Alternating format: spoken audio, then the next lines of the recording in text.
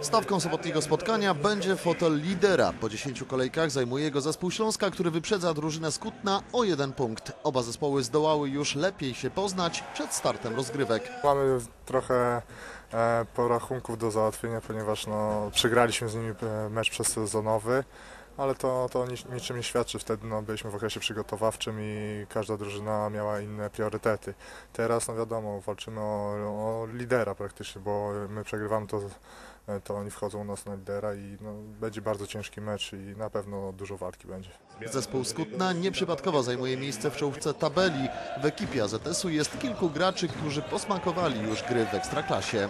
Jest tam też Kuba Dłuski, jest tam e, Dawid Bręk, no jest, jest, jest tych zawodników gdzieś tam kilku, można by ich wymieniać, więc y, co najmniej pierwsza szóstka, si- siódemka są to gracze, którzy mają e, wielkie, mówię, e, powiedzmy predyspozycje do tego, żeby być najlepszym strzelcem, najlepiej zbierającym, najlepiej podającym, więc na pewno musimy się skupić na, na, na całej grupie gdzieś tam zawodników.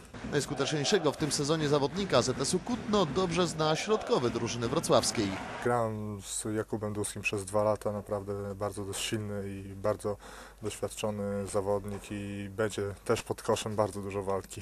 W ekipie Skutna nie brak także dolnośląskich akcentów. W składzie wicelidera jest były zawodnik Górnika Wałbrzych Krzysztof Jakubczyk, a na ławce trenerskiej zasiada były mistrz Polski ze Śląskiem Wrocław Jarosław Krysiewicz.